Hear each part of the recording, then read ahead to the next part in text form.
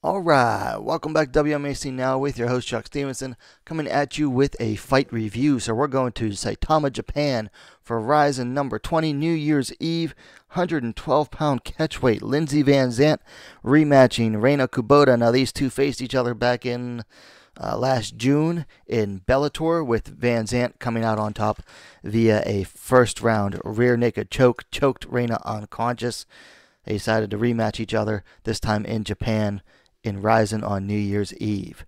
So first round and starts and Rena immediately starts outpointing VanZandt until El- VanZandt gets a double leg about a minute in.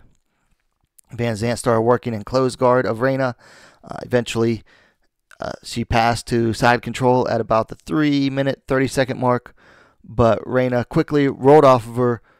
Uh, excuse me, rolled VanZandt off of the top of her to side control, just straight up muscled her. Um, Rena was, then was inside control and landed some knees by Rena, but then VanZandt regained half guard and scrambled to stand back up, and VanZandt shot in again in the closing seconds of the round. Second round starts, and Rena is again outstriking VanZandt, throwing a couple nice combos. And let me tell you something Rena throws some really nice combos, and she mixes in some body work too, which I really love to see. Uh, Rena sprawls on a shot by VanZandt and starts making her pay for it. Um, get they get back up.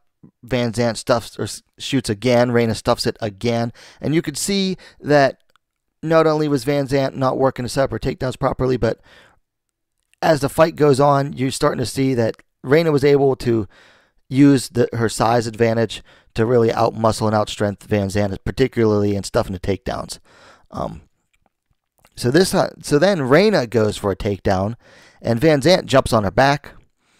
Uh, from there, VanZandt goes from an armbar, switched to a triangle, had her triangle in a little bit, and as this um, seconds wore down, VanZandt went back and tried to stretch out that arm, and was starting to get it stretched out, but the bell eh, signaled the end of the round. Um, so it was a real mo- nice momentum shift there from the beginning of the second to the end of the second. Um, third round starts and they come out and Rena sprawls on a double and starts kneeing VanZandt's head. And then VanZandt, you know, tried to roll and she rolled the wrong way, giving Rena side control. Uh, VanZandt starts trying to land knees to the body of Rena from the bottom. Rena's on top. She's not really doing much, but then she moves to north south. Uh, Lindsey starts scrambling, and Rena worked started working on a Kimura. And I don't know why like Rena started on the Kimura when she had north south, and she should have given it up as VanZandt started rolling, and because VanZandt was on her knees and Rena's still trying to work the the Kimura, and it's like, no, don't work on that from there. Uh,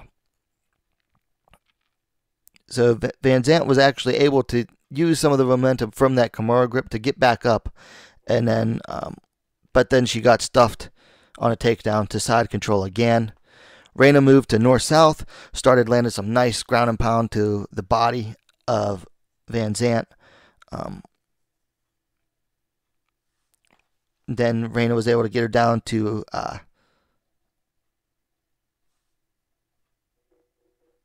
excuse me, no, Rena stood from there. She stood after the first time, uh, and then VanZandt missed a spinning back fist, and Rena just kind of like took her and muscled her to the ground a little bit.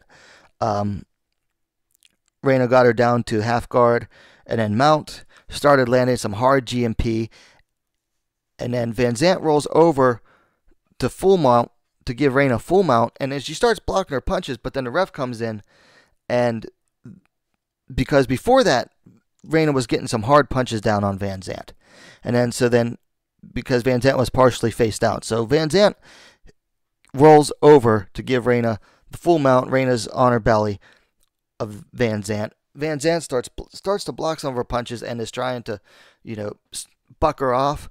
And then that's when Herzog steps in, and you're confused a little bit. Uh, but then it turned out that VanZandt's corner had thrown in the towel when she was get, eating the brunt of the ground and pound. Uh, so it gave Rena the TKO win at 4 minutes and 42 seconds of the third round. So Rena gets her vengeance. So, things to work on. So, for Rena, she needs to start sticking to what works for her. Like when she was going for that Kimura and she held on to it way past when she shouldn't, it was unnecessary. And I think that's just inexperience on still on working submissions from the ground. So, I mean, stick to what works for you. She didn't have to go for it really for the Kimura at all. She should have been working on the ground and pound, going for the finish from there. And I understand, you know, you want to try a new thing, try to finish in a new way, but you know, keep that for practice until you have it down 100% really. Don't go for stuff in the fight if you're not 100% sure on it. Um, for VanZandt, she needs to work on striking to set up her takedowns. And I understand it's a little hard to get harder against Rena, but she was just straight up telegraphing them.